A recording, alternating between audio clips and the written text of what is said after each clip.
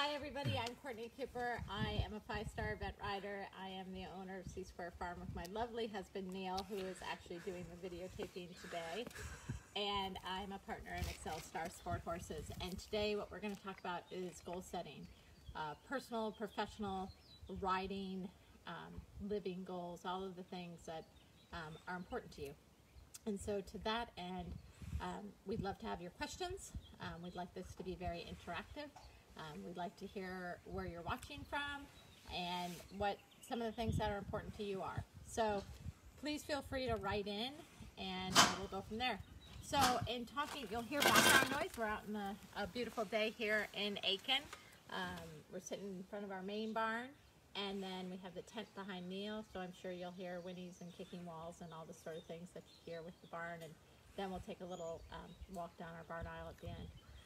So I do goal setting, um, major goal setting once a year and usually sort of in that December, January timeframe when I have a little bit of downtime. Um, I try to look back and see what I did last year and um, I also look at things quarterly as I go along and then when certain events happen, um, but more on that later.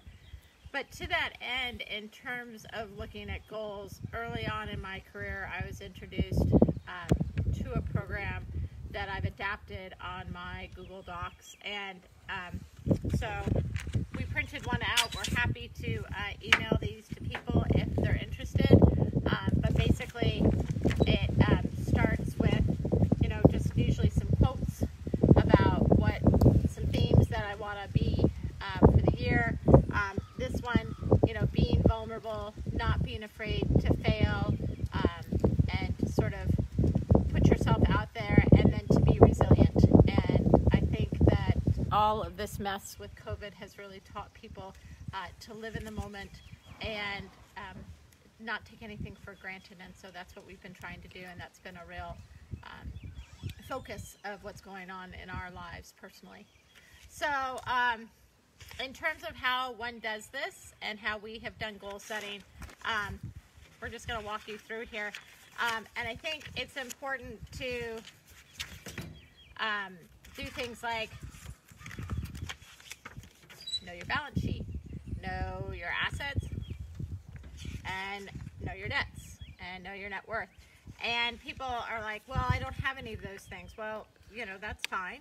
Um, you know, you need to know where you are right now, and these things will change. And the thing about goal setting that I think is very important is for people to have things written down or in a spreadsheet or in a document that you can um, refer to later because it's very easy to sort of say things aren't going great and then um, maybe do a little reflection of five years ago and where you were five years ago and oftentimes you'll find that you hit some major goals and major milestones and you didn't sort of focus on that and it's very easy in the moment to get um, dragged down in the minutia of life. But if you're trying to do goal setting if you're trying to think sort of bigger and broader and you know what's important to you it, it does help and it also helps you just to keep in focus. Any questions neil? No, several people watching, but no questions yet. okay well guys feel free to always ask questions so then um, based on that and based on what's important to people and based on where we're going to go, the important thing is to talk about past achievements. Um, and you can see that there are lots of sheets on this. Hi, Nugget. Um, there, there are 50 lines on here. And, you know, these can be minor, major, um, what are important to you. You know, a lot of times um, what doesn't seem Hi, uh, sweetie. Important in the moment uh, turn out to be really important things that you've achieved. Um, I I have always worked on my ability uh, to talk to people and interact with people, and um, that's really been something that I have um, struggled with in different ways, and so um, that's something that I'm proud of that I've continued to um, develop there and, and listen to listen to um, TED Talks and, and try to find ways of relating to people better. And so that's went on my past achievements. Um, so once we do that, and and this is something that can be done over the course of time. And in terms of, um, you know, some days you might be thinking that, you know, this working through it. Hi, Reese. Has a doctor's appointment, so she has to leave. Um, so the other thing then we do is um, we talk about goals. Um, and you can see this actually didn't get changed to 2021, but that's okay. You can imagine that. Um, horse-related goals. Um, and these can be, oh shoot, minor, major, we'll have to get that later. Um, minor, major, from, you know, finding people to share your dreams and new owners and supporters to um, being able to push the trot or to be able without stirrups. Those are all important things and not necessarily um, things that just because they're not huge, big goals don't make them um, less important. And so you can see we have 30 of those. Then we have um, business and school goals. Um, you can see I started this back when I was in university, and so um, it was important for me to have um, university goals to like to graduate um, because I was fortunate enough for my parents to pay for school, um, but they said four years and that was it. So um, that was a goal of mine, and to get a degree. Um, and then business goals, where you want to to see them go. And so when you're setting goals, um, it it doesn't matter how big they are or how small they are, just that they have some importance uh, to you. Any questions yet, Neil? Not yet. Come on, guys, interact with me. Tell me what your questions are. Um, then we go to personal goals. Um, and these obviously change and develop as you get older. Um, you know, one of mine was to get married, and which I did, um, and to have a home, and um, we're lucky to have, you know, a couple of homes now, which seems a little odd to be honest, um, and exciting. But uh, so talk about your personal goals, and like I said, it, it is very helpful sometimes to reflect back on these things because um, you can sort of see where you are going. They did a study at Harvard um, years ago, and what they found was that if you write down your goals, that you are um, 80% more likely to attain those goals. If you talk about your goals and um, speak to them and give someone um, your goals and sort of be a significant other or someone else, you're 40% more likely um, to reach those goals. Um, and then if you actually just think about them and don't tell anybody, um, you're about 20% able to reach those goals. So a big deal is if you can write them down and if you can share them with people. Um, hi, Nugget. And so then we start going out on goals in terms of in five years, in 10 years, and in a lifetime.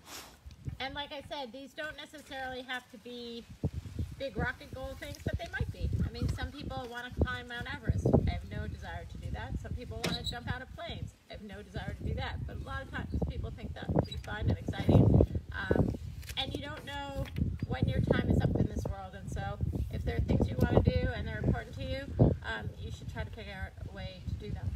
Um, on that note, in terms of writing goals, um, one of my clients said, well, you could talk about the mandatory elig- eligibility requirements that have been discussed and how that affects your goal setting. And they did table that rule, but in terms of deciding, for example, when you're going to move up a horse um, or rider, and you know, saying, oh, I want to be going preliminary by the end of the year, or I want to go advanced, or what, all of those things, those are really driven um, not only by internal factors but external factors. And so when you are goal setting, um, it's real important to say, I'm going to do these things, I'm going to do X, Y, and Z, and make it so that um, it's not just, I'm going to get a score of 25 on the flat. Because the judge that day might be cranky, and so the best score might be a 32 in your division, but on a different day, a different judge might have given you a 21. So you have to know that you rode well, that your transitions were good and proper, and all of those things. And so, to that end, I would um, tell you that when you're looking to do goals, try to, as much as possible, set them based on factors that aren't determined by other people, if that makes sense. No questions? Anybody watching? Lots of people watching. Okay, Some people I know, some people I don't. excellent. So then you go into the top three goals, and again, you can see it says 2020.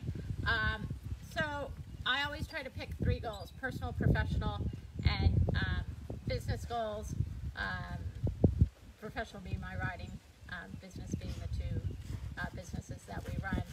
And what you want to do is you want to sort of say what your top goal is, and then what are potential obstacles to that goal, and what you're going to do when you reach them. And um, I have several friends who always um, kid me about my goal setting, and they're like, "It's great to plan, but your plans never happen." And um, sometimes they're right, but at least I have an idea of some things that might go right or might go wrong, and how I would deal with them. And so I think it's real important so that when you're thinking about goals, that you just don't get stuck if you have a problem, that you try to find a workaround. Um, Neil said we have a question. So, Devin Trethery, I might be getting her last name not quite right, but I know who she is.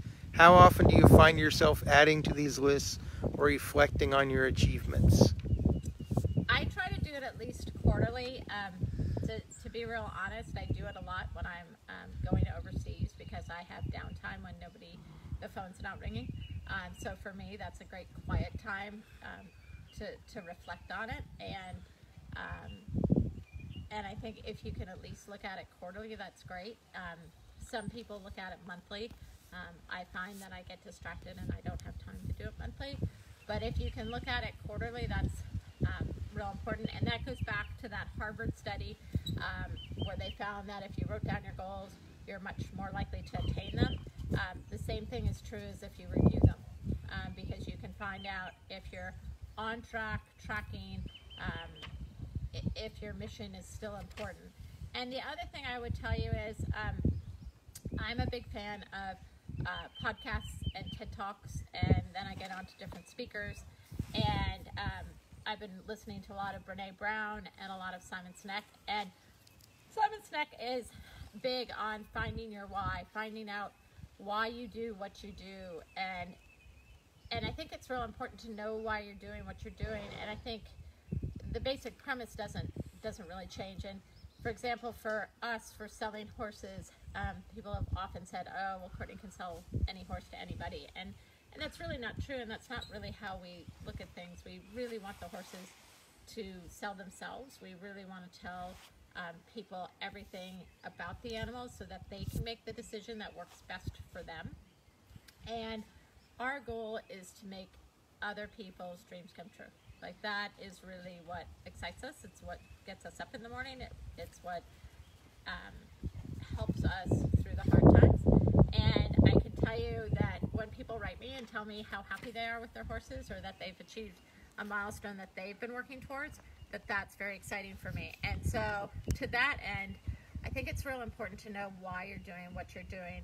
Um, I think a lot of people get stuck on everybody else is doing this and therefore I have to do it, and that's important to me.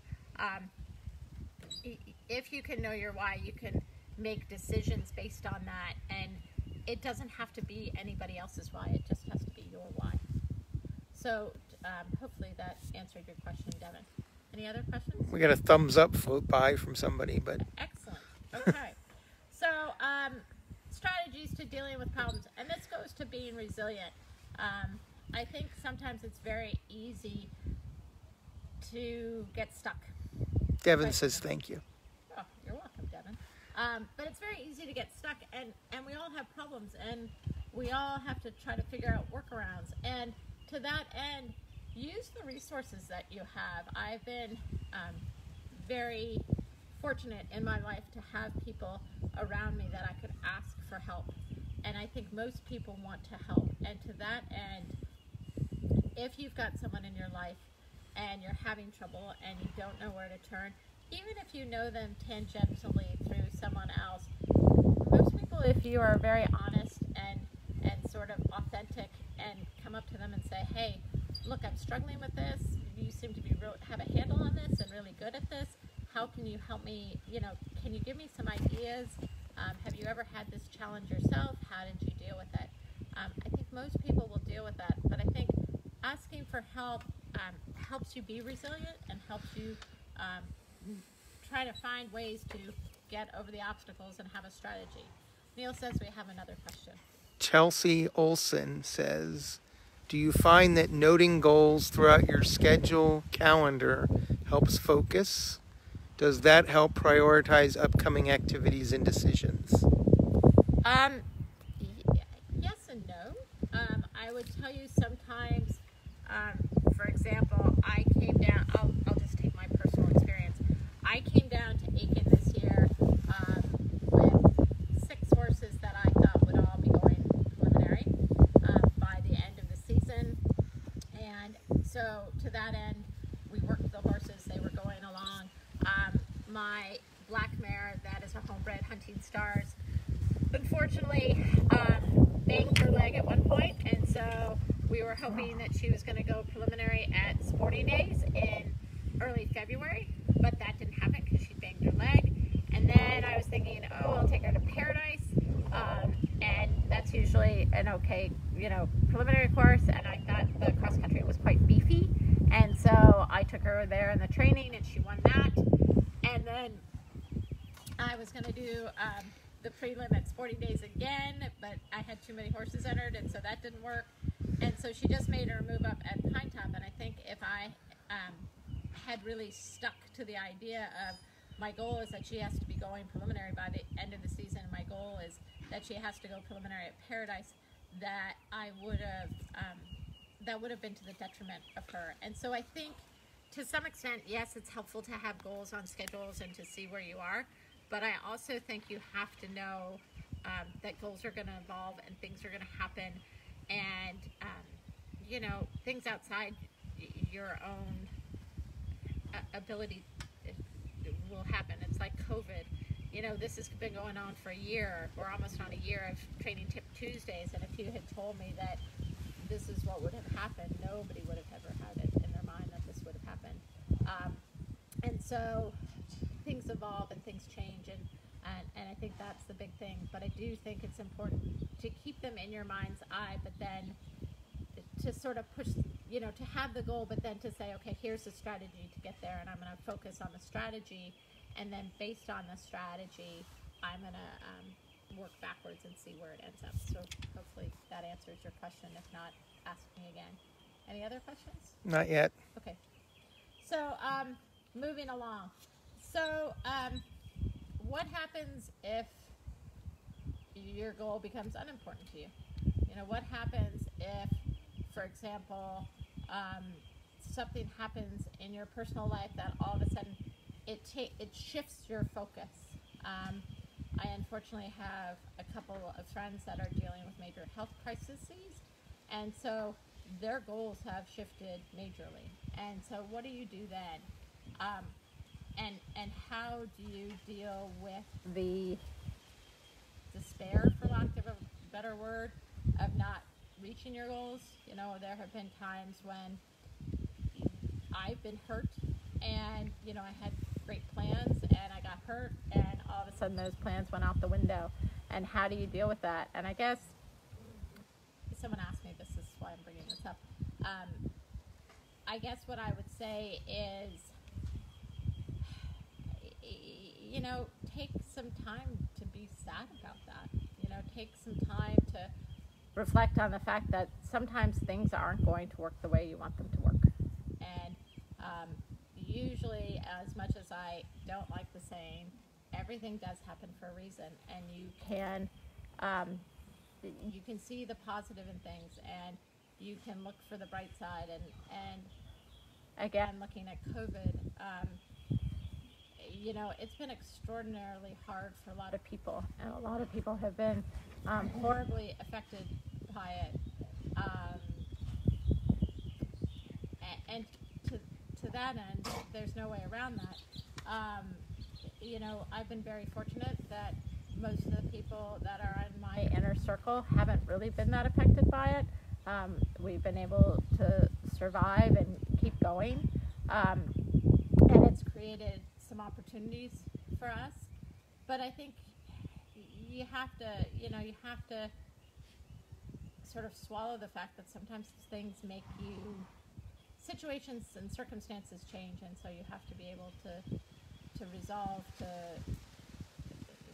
to appreciate where you are, and that maybe something that was very important to you is going to happen right now. So, um, to that end, Devin has another oh, question. Devin, sure. What Devin, do you do if you have a goal that is really important to you but seems unachievable?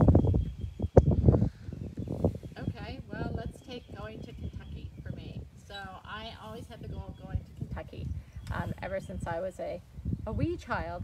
Um, and so I, you know, I can walk you through that, but we, um, since I was, you know, 13, 14, I would tell you that I wanted to go to Kentucky. So, you know, bought our first horse, had great plans, you know, like every teenager, everything's going to work out. This horse is going to go to Kentucky. But it turned out that um, the horse wasn't sound, had a former bowed tendon that I didn't appreciate. You know, okay, so that one didn't work. Then um, went, bought another horse loan out for my mother. Um, that horse was an amazing athlete, probably had kissing spine. Um, didn't appreciate that at the time, that was a long, long time ago. Um, ended up veering, flipping over, and breaking his neck, so that one was wrong. Then I had to make um, a decision about um, working, and so I developed my insurance business. Um, we, no, Neil and I bought a horse together. Again, sort of thought, oh well, maybe she'll lead us down that path, um, or be a good resale. Um, we kept her. Um, in hindsight, it probably kept us together in some very challenging times in our twenties, and led to us getting married. Um, and I, I can keep going down the path. Um, then I ended up going to Ireland 24 years ago, 23 years ago, 23 years ago, I think. She's 27 this year. Yes. So 23 years ago, I made my first trip to Ireland and um, fell in love with lovely mare and um, didn't have the money to buy her. Didn't know where I was going to come up with the money to buy her, but I loved her. Um, and named her Faith because I had faith to buy her. Um, brought her over. Was going great guns. Did a three day um, with her as a six year old. She was, she was really fantastic, fantastic athlete. And then sometime during the winter, she had a bad step for a meniscus. Uh, we worked for two years to try to um, make her better and couldn't. And then I remember this like it was yesterday, crying on her shoulder in a big field and asking her what I had done and where it would go. And a year later, a Star was born. And he was the horse that took me to Kentucky. So, to answer your question, I think if you have a really big goal that seems unattainable, you have to just start. At one point, you just have to start, and you have to work through the process, and you have to keep going through the process. And you're gonna, you know, go down this road, and then you're hit a roadblock, or then you're gonna go down another road, and you're going to turn left down a side street instead of going straight. And then you're going to go down another road. And so, um, the thing I would say is, as you're working to get to this attainable, unattainable goal, keep trying to find the skill sets that are going to help you reach them. So that that would be what I would say. I don't know if that makes sense, but that's what I would say is that you've got to keep sort of coming at it from different directions and to use the resources of the people that surround you and say, look, you know, this is my goal and how do I how would you think you could get there? Because sometimes people will say things to you just really offhandedly and um, two years down the road you're going to be like, I'm going to use that bit of information because that's really good information. So I hope that's helpful. Um, any other questions? No, but you might want to point out that the mare who got hurt was Who's a Star's mom. Oh yeah, she was Who's a Star Mom. Sorry. So yeah, so she started our breeding program. Sorry about that. Um, so thought that was clear. But anyway, yeah. So anyway, so she, her getting hurt led us to breeding, and um, and led us to Who's a Star and to all the homebreds we have, including our River Star, um, who's hopefully going to be our second homebred to go to Kentucky in a few years. Um, so so that's the thing. I mean, if a goal is important to you, you just have to keep chipping away at it. You know, you don't you you don't climb Mount Everest by going to base camp and hoping for the best. You go to Mount Everest and you know after you've climbed you know all the mountains in North America and then you've gone and climbed some of the other big mountains and you train and you you know understand what it is like to be without oxygen and you know you do all of the things um, I have read a little bit about climbing Mount Everest um, but not a lot and so but like all of those things like you don't people just think oh you know you get to Kentucky because you've got a great horse. Well, you get to Kentucky because you have a great horse, and you get to Kentucky because you put the work in. Um, I think it's one of the things a, a lot of people don't know about the Olympics and the Olympic movement is there are sports in the Olympics that are defined as being youth sports. Um, gymnastics and ice skating, for example, running um, are sort of youth sports. And then there are a whole other category of sports called lifetime sports, where you learn um, skills through your lifetime that make you better athletes. Um, and that would be things like riding and sailing. Um, those are sports that are lifetime sports, and generally, um, you know, the people that are really good at it are people that are older. And so, um, to that end, you know, I think the thing is that the great thing about our sport is you, you never can have to stop learning. Um, and to the end, Devin, the other point I would make is um, don't be afraid of trying something really radically different. You know, don't be afraid of, of trying change. And like I, it said on the, the front sheet, don't be afraid of failing. I know a lot of the girls that I work with, um, I often say to them, I want you to fail. I, you know, like you're here to learn, and I know you're gonna make mistakes, and that's fine. But I also want you to fail. Like I want you to make a decision, have it not work out, and figure out why it didn't work out. Because those are the times you learn. Um, and oftentimes people have said, um, you learn more from the round where you had to stop than oh, ow, um, that was Flower's head on the table. Um, you learn more from a failed experiment than you do from um, a successful one. Any other questions? No, just different people scrolling by. Okay, so um, so then we, we talk about goals and we talk about things and, and all the things, and then um, strategies to get there. And then one of the things, and this goes back to finding your your why, is what or who do you value? Um, because I think it's it's always hard when you're struggling, and if you have goals, you're gonna struggle, and if you are alive, I guess you're gonna struggle. But eh, you know, to focus on the things that are important to you, because those things don't usually change. Um, honesty is real important to me. Um, transparency, uh, reliability, uh, resilience, uh, responsibility. Those are all things that are really, really um, important to me. And um, to that end, I will do lots of loyalty. Um, those are all things that I find um, that I'm really willing to back up. And so when you find yourself um, in a situation where the, your values aren't being met, I think that's also sometimes where you can get a little bit sticky in terms of, you know, saying, is this really what I want? And, and that provides you with some time for, for, for reflection. Um, so I think with goal setting, the, the key is to find something you're passionate about or that's important to you. Uh, find a strategy, realize what some of the obstacles to that strategy are going to be, um, try to deal with it, and then um, connect with what you value. So moving on. Um, then we go into missions, mission statements. And these goes, oh, oh, oh, hi dogs. Um, and those, those work on again, um, your why. You know, why is this important to, to what you do? Um, you know, and I have lots of friends who are mothers and um, fathers, and for them, you know, a lot of times, hey, hey, their mission is to be, you know, is is their goal is to provide, you know, the education and the love for their children to be, you know, responsible adults. you know, and good members of society. And so that's really important to them. And, you know, I don't think there's a higher calling if you're a parent.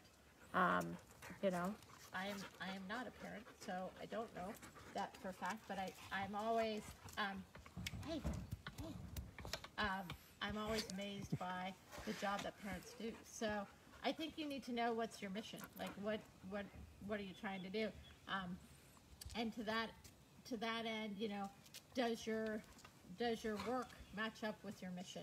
Because I know, um, you know, a lot of people are unhappy with their work, and I think that that's not a great way to be. And so, if you can find something that you can do that supports what um, is important to you and your mission, I think that's a great thing. So, um, hopefully that makes sense.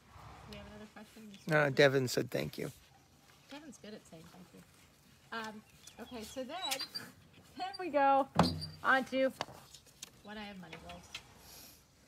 Um, and a lot of times, money is one of those things that people say, oh, if I only had so much money, I could do X, Y, and Z. And to some extent, that's that's true. Um, you know, you hope that that your world doesn't revolve around um, cash flow, but to some extent it does. And so, um, you know, for us, that was that was having a farm, and then it was having um, a place down in Aiken, which we were able to do, and then, you know, things along those lines, like fixing the driveway or putting a new roof on the barn. And it doesn't have to be glamorous, but that's you know, pie in the sky stuff. Um, so that's that's one thing, and then every year I like to do this as well. Things I would have changed. Um, because I think it's it's great to reflect on your goals, and undoubtedly it's good to keep the focus. It's it's great to sort of tick the boxes of saying, all right, like you know, ten years I wanted to do this and I did it, and that's fantastic. Um, but ultimately, too, there are things that you would have wanted changed. You know, relationships that um, got affected that you, you know, would would have liked to maybe changed. Um, uh, ways that you ran your business that if you'd known another piece of information, you would have done, gone down a different road. And I think that's important to reflect on because if year by year by year by year you keep thinking, seeing the same things that you would have changed, then maybe that presents you with an opportunity to create a different goal and to say, okay, well, maybe I need to work on this as a goal of mine uh, because obviously I keep wanting to change it to have a different result. Yes, So you have a comment, not a question, but Whitney Roche says, "Thank you for doing this." Ah, thanks, Whitney. Um, all right. Um, and then the last thing is things I want to do better. Um, and again, um, you know, going back to, to me, I know that, you know, in my dealings, sometimes um, I can be, people think I can be short or abrupt, and it's not I have no desire to be like that because I will happily give my time. Um, and it's usually because I'm distracted or I have other things on my plate. And so that's for me something that I personally have worked on, um, that I want to be better at um, and being more available to people. So, um, you know, you try to you try to pick those things out. Another thing that um, you know, Devin asked, "What about big you know, big goals. Um, I would tell you, Devin, that there are a lot of times that um, people have told me goals, or I've read about people who have made huge goals, and you know, we're told, "Ugh, that'll never happen." You know, that's not going to happen. That's that's that's that's not. You know, how how come you think you're going to do that? In fact, I think my husband is laughing because you know, one of my goals when we originally met, what was that, 35 years ago? Mm-hmm. 30 years ago? 34. 34 years ago. Um, and we were dating, and I was like, well, I want to ride internationally and I want to ride on the teams. And he's like, well, what makes you think you're going to do that? And because you've never done it before. And I said, well, I, I never walked before I, you know, before either. And I figured that one out. So I would say if you can dream it, you can back away from it and you can say, okay, well, these are the ways I'm going to do it. And you may have to keep trying to, like I said, figure out how it's going to work. But but you can do that. And so to that and um, anybody who's been around me um, knows I carry books with me um, wherever I go, and um, I'm notorious for, for doing it um, when I when I take trips. And so, like this is this is one for clients looking for horses. Um, I have another one for my professional goals, and um, I just didn't pull it out today, but um, talking about you know what my goals are. Um, you know, my goal is to to try to get on a team, and to do that, I've figured out you know how many horses I need and where those horses need to come from, and um, some will come from our breeding program, and some will come domestically, and some will come from the international horses, and how we're going to finance them, and where we're going to be, and um, you know, I'm not sure all the plans will work, but that's sort of the idea, and that you know we've talked to a few people who have uh, ridden internationally and, and gotten some ideas from them. Um, I'm sort of approaching it differently than, than a lot of people um, because my primary business is sales. Um, but that's it's it's sometimes easier to, to take one of these jobbers than to have a whole bunch of paper with you. Um, but having said that, having the paper, I have um, what probably four notebooks full of goal sheets that you know dating for uh, 30, 25, 30 years. Um, and so it's kind of fun to go back and look at those and, and see what those things are about. Questions? We have some more comments. Oh, comments. Robin King says, Thank you, Courtney, for putting all this into word. I think it's also important to say that following dreams is very rare. Lisa Brewer says, This is my favorite of Courtney Cooper videos I have seen, full of good stuff! Exclamation point. Super. Um, so, you know, I, I would just say that that for me, those are all important things for me. Um, the other thing I would tell you is um, having mentors is is real important. Um, and and sometimes the people that you mentor, um, uh, your mentees, if you want to call them that, um, come back and share things with you. Uh, you know, I um, had Emily Hamel, who worked for me for a couple years, come by the other day to look at a horse for a client, and we were just talking. And I am so proud of her because she's going to Kentucky this year, and um, knock on wood, knock on metal. Um, and I'm so excited for her because she's worked so hard to get there, and, and she was supposed to go last year with COVID, and that didn't happen. And long story short, I'm so excited for her. And we were just talking about it, and it, it's really exciting to see what she's doing now, and uh, with her own podcast and, and her own business. And so, you know, we were talking about some business ideas back and forth. So that was that was real exciting. And so, you know, don't discount the people that you've helped along the way because sometimes they, you know, have have done different things.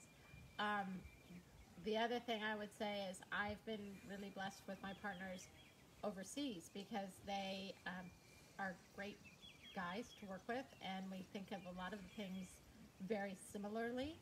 Um, but because they've grown up in a different country than me, and they've grown up in a different environment for horses than me, um, and they have different dealings with their clients and their owners and their breeders and, and their sources for horses, it's been really enlightening. And so, you know, seek out those relationships and, and talk to people. I think people in general um, are, are genuine and want to help and and I think everybody seeks connection and I think that that sometimes gets lost. Um, you know, people are afraid to ask. Don't be afraid to ask. What's the worst thing that happens is that you know someone says that they're they don't want to they don't want to help, and if that's the case, that's fine. Um, so I think that's it. But if you guys have questions, because um, I know sometimes people think of questions, um, I thought we'd just walk through the barn and say hello to some of the horses. Um, and then I'm also happy, like I said, to send this out um, to people if they're interested and walk them through it. Um, just shoot me a message or put down um, a message down in the notes below, and I'll get uh, notified for that. Um, and then we can go from that. Um, next week, I think what we want to cover is I've been asked to cover um, how to leg up a horse that um, has not been blessed to be in the sunny south. Um, and I think I'll be able to do that really well.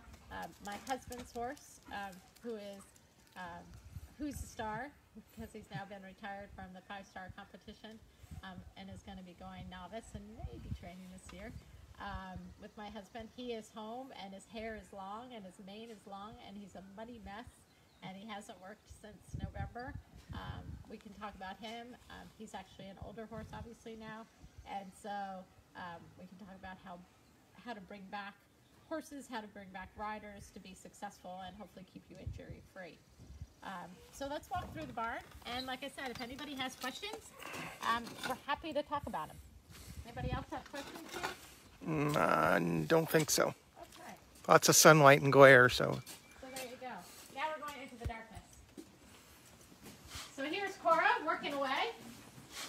Um, and then that's our lovely mare. That's Hunting Stars, who um, maybe we'll go see her outside. She, uh, like I said, she just did her first preliminary. She was really, really good. Um, we have uh, first class here who's ready to go jump some jumps. Um, we have our nice young horse here, um, Future Hero. This is one of our imported horses. Um, that's for sale um, by Future Friend. Oh. What are you doing? Lisa Brewer wants to know if hair is long, money mess. Wasn't sure if you're talking about the husband or the horse. Oh no, the horse. The husband has no hair. Um, as my hair has gotten longer, his hair has gotten much shorter. I've been doing my own haircuts, so uh, with clippers. with clippers. So um, yeah, so he's gone real short. Um, so who do we have over here? Oh, speaking of a horse, Devin, this one's for you. This is a horse that should have been, could have been, um, my first team horse, but unfortunately wasn't because he kept getting injured. Um, if anybody's been around for a very long time, this is a, a lovely, lovely horse called Havasu Canyon, who um, was everything you'd want an American thoroughbred to be. Light on his feet, good in the flat work, really brave cross country, just a lovely, lovely horse. Um, and unfortunately, um, didn't make it. But again, when you talk about things happening for a reason and um, like I would never want him to be hurt. Um, hi, I know you know that I have some more. Um, he led us to us meet some of our um, favorite friends, uh, Tina and Paul Allaire, and um, unfortunately Paul passed. Um, but Tina has remained a very good friend and um, both personal and professional, and we couldn't have done some of the things we've done without them. And so we're always grateful to this old man. Um, so that's sometimes talking about how things change your perspective and, and how to keep moving forward. And then who do we have down here? Oh, we have the empty stall. We're very excited about that. Um, we have uh, David River and TikTok headed to uh, the two star this this um, weekend, so that'll be excited. And then this is another horse. Um, this is Debonair, Southstar Debonair, who's waiting for his ride um, this weekend. Do you know what? Oh, you don't. That's so sad. You'll have to learn. So anyway, so that's us signing off. Um, any other questions? Any other thoughts No. from anybody? Thank you guys for tuning in. I hope it was helpful and useful. Uh, if you have any questions, let me know, and we look forward to catching up with you soon. All the best.